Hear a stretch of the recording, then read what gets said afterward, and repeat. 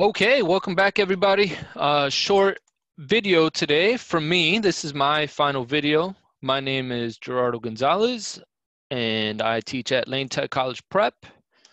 And today I'll be going through how to submit your response along with just some final um, some final touch-ups that you should uh, do before completing your paper. So I'll be walking you through the process, through the step-by-step process to submit your final paper today. Um, okay, so by this point, hopefully you have completed your paper. So you've um, had a couple of drafts, you have revised your paper a few times, and you have had someone else read your paper a couple of times to ensure that this is the version of the paper that you want to submit. Um, so just as a final check of your document before submitting. These are some of the things that you should um, that you should be doing to ensure that um, the version of the paper that you submit is actually ends up looking what you want it to look like. So um, most importantly, we want to make sure that you're removing any identifying information from your paper. So your name, the name of your school, anything like that should be removed from your paper. Okay, so we don't want to see your name or school. Um, on your title page, we want to uh, make sure that your paper has three things, the title of your paper, your research question, and your word count, okay? And then throughout your paper, we want to ensure that uh, you have consistency on your citations. All of your citations are in your works cited and vice versa. We went over this in the previous video. Um, running a spell check, consistency of, of font, font size, etc. And I'll be walking you through that in a bit. Um, for our works cited page or a reference page, uh, ensuring everything's in alphabetical order and making sure everything is consistent. And then finally, making sure that the formatting of your um, PDF is correct. So I'm gonna walk you through that in um, a second. So on my screen right now, I have a sample paper uh, that one of my students wrote earlier in this year. And so um, hopefully this is what your paper ends up looking like. The formatting of it is dependent on your style. So if you're using MLA or APA, it's gonna look a little bit different. So just follow the directions of your teacher. But um, in this case, this is what a final paper might end up looking like. And so you've been working on the same document for a while. So sometimes um, we have a few different formatting things that come up. One of the um, one of the first things that I want to make a reference to is how did you get from one page to the next? So if we have our cover page, most of you probably just hit enter, enter, enter, enter, enter, enter, enter, enter, like 30 times to get to the next page, right? To get here. Um, and unfortunately, when we save documents as a PDF, sometimes that messes up our formatting.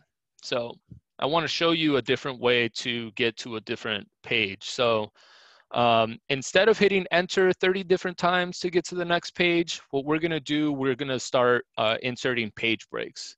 So uh, to insert a page break, if you're working off of Google Docs, you just go to insert,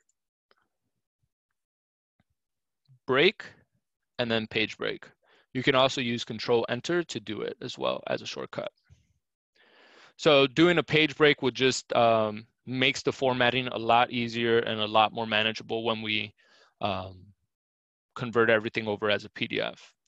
We don't necessarily need these um, spaces here, so you can just erase those. Remember, we're just focusing on word count. We're not really focusing on um, page count here. We wanna make sure that your indentations are all consistent so we're just looking to make your paper look pretty. Okay. And so um, again, you can see here that based off of all of those uh, different enter keys that we've been doing, it really messes with our uh, formatting here. So I just want to enter another page break. This time I'm just going to hit control enter and that'll give me a nice page break here. Okay. And so um, sometimes, and these are just paying attention to detail. If you see here, my font is uh, Times New Roman. And then when I get down to my reference page, all of a sudden it turned into Arial. And sometimes that happens because um, maybe we were working on two different documents and the two different documents had two different um, fonts that were selected. Or maybe we're just copying and pasting stuff over that was in a different font. So I just wanna make sure that everyone um, is submitting their papers just to make sure that everything looks consistent because it just makes it look a lot more professional. So to do that easily, uh, you just select all of your text. So uh, uh, as a shortcut, it's uh, Control A. And then you can just change the font to make it all the same. Okay, so now I've changed everything over to a Times New Roman. And I wanna make sure that everything is the same font size. So I'm gonna put whatever I want my font size to be. Let's just say it's gonna be 12. And then once it's like that, now our paper is ready to convert over to a PDF. So mind you, by this point, and you should be doing this on your own, uh, you are going and just doing a double check to make sure that all of your citations are in order, okay? And then there's just one here, okay? So if you see here, sometimes this, this just happens. Instead of it, just, there's just like an unnecessary letter here, okay? or Kennedy here. And then if you see here, Kennedy is spelled incorrectly. So I wanna just change that, okay? And then uh, you should always do this on your own. You should do this on your own even before uh, having someone else take a look at your paper. We wanna do a spelling and grammar check, okay? So on Google Docs, you just go to tools, spelling and grammar, and then you would go through this process on your own here, okay? So um, it's gonna give you, Google's gonna give you a bunch of different uh, recommendations for you. And sometimes you wanna take these and sometimes you don't, okay? So it just sort of depends on the type of writer that you are, but many times uh, it's going to make it, make your paper, make your sentence structure a lot, uh, a lot better, okay? And it might also save you a couple of words. So if you're pressed for words, that might be something for you to, um, to consider here, okay? So everyone should make sure that they are doing this because there are certainly, um, certainly uh, issues that sometimes we overlook as writers, okay? So I won't go through all of that. It, once you're done and once you've gone through all of these uh, steps that I had up on the screen earlier, you're ready to uh, download your paper as a PDF. And so to download your paper as a PDF, you're just gonna go to, if you're working on Google, File, Download, PDF. Okay, so um, on the digital portfolio, and I'll show you this in a second, you can only upload uh, your file as a PDF. So this is how I want you to download it. And then once it downloads, it should open up. And then you just want to make sure that you're checking to make sure that um, everything, is, nothing got shifted over as a result of it um, transferring to a PDF. Okay, so I checked this over before and this looks good. And so I have my name of my file up here, it says dummy IWA. Okay, and uh, if you're working on Word, I'll show you how to uh, download that as a PDF as well. Same file, Word document. You're also just gonna go to File. And here you're gonna save as Word document. You're just gonna change that to a PDF. And then you're just gonna save that. And it'll save it as a PDF there as well, okay? So we're just making sure that you're saving your document as a PDF. And You're making sure that you remember where you have that file. So um, once you have everything downloaded and once you have everything ready to go, you are going to be ready to submit your final submission up to uh, the, uh, the digital portfolio. So most of you should have um, logged into the digital portfolio already as this is where you get access to EBSCO. So if, in case you uh, have forgotten where to go, it's digitalportfolio.collegeboard.org. And once you log into that uh, URL, uh, it's gonna take you to the sign-in screen. You're gonna use your sign your College Board information. If you forgot your username or if you forgot your password, um, there are spaces for you to um, to look at here, okay? So you can just click uh, and go through the steps to retrieve your information. Uh, everyone should already have an account, okay? So um, this shouldn't be an issue for you, but if it is, you can also sign up for an account here. And once you log in with your information, it's gonna take you to um, the uh, sort of the home page of the digital portfolio. And this is what it's gonna end up looking like. I wanna point your, I wanna point you to the left-hand side where um, my mouse is sort of circling right here. We have our two performance task assessment titles. We have our team project and presentation, and we have our individual research-based essay and presentation. For the IWA, and I like I really, really want to emphasize this.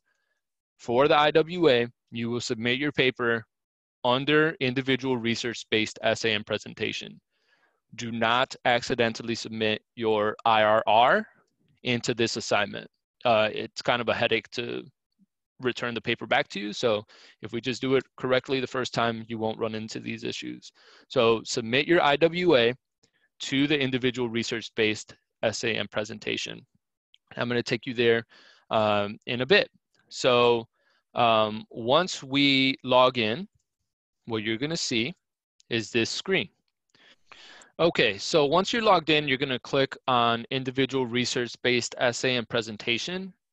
And then that'll have a little drop-down menu and it'll bring you to this uh, individual, you're gonna click on individual written argument and it'll take you down to this um, page.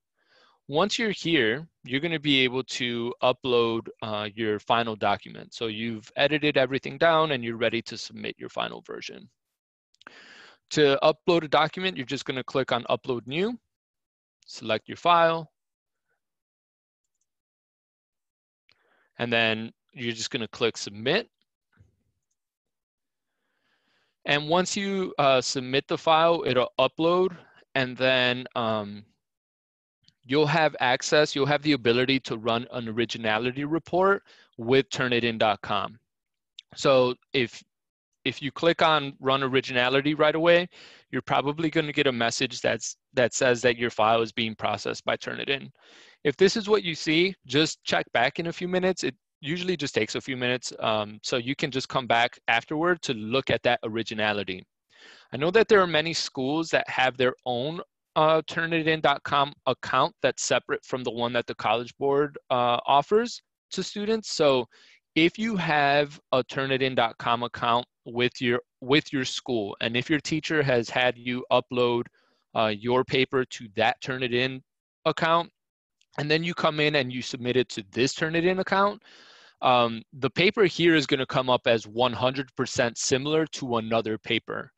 If that if that happens, that is uh, that's nothing that you should be concerned about. Okay, so uh, it's just flagging your paper as being similar to your other paper, but Turnitin doesn't know that you're the same person.